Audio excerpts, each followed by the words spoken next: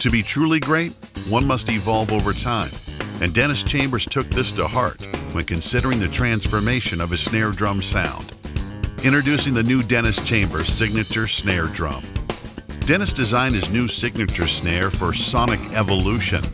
Using the multi-lug design of his previous model, the new drum employs 10 tuning points on the batter head and 8 on the bottom for accurate tonal focus. Having 10 on the top, it takes less stress off certain areas of this drum head. The top head is what I have to really focus on. The top head is the most important thing for me. Dennis's new snare drum returns to the four-ply maple shell of his original signature model, but this time in a stunning matte black lacquer finish for visual versatility. It features solid, searing, and articulate sound that fits well in any musical genre.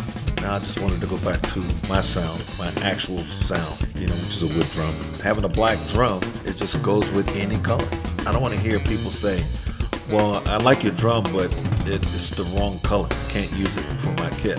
Matte is just right for me. The lugs are the low-profile STL 100 single swivel lugs, Pearl's lightest and most efficient tuning lug for reduced shell contact. I just wanted something real clean, clean looking, and not big and bulky.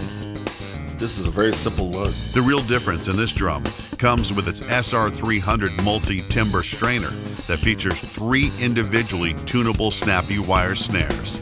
Each can be engaged or disengaged to further sculpt the sound of the drum. I was always a fan of having like a real tight tension sound, a medium tension sound, and a less tension sound. With this, having three throw-offs on it, I can put three separate snare wires on it. Plus Pearl's durable Mastercast die-cast hoops add weight for increased projection. The die-cast hoops give it a more focused sound. The batter head is an Evans G12 coated whitehead, which is the perfect complement to the drum. I mean, I want to have a head that, you know, it speaks no matter how I play it.